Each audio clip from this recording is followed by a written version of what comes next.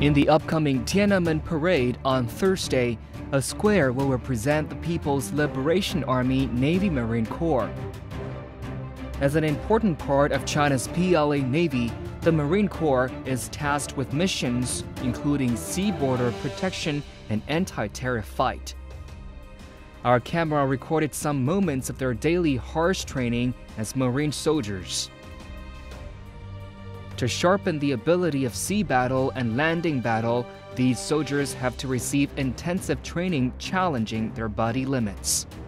Take swimming training, for example. A 3 kilometer swim is only a basic requirement for the newly recruited. And for others, a 5 kilometer swim is a starting point. They're also required to have the ability to swim more than 500 meters with 20 kilograms on back. The troops have taken many important missions home and abroad, including the relief work in the Wenchuan earthquake in 2008 and escort missions in the Gulf of Aden.